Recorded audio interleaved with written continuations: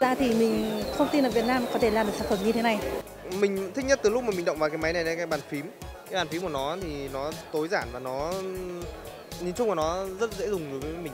Còn về phần mềm thì tất nhiên là có thể vẫn còn một số điều mà chưa thỏa mãn được người dùng nhưng mà phần mềm thì nó lại dễ sửa và nó lại có thể update được thường xuyên trong thời gian người sử dụng sử dụng.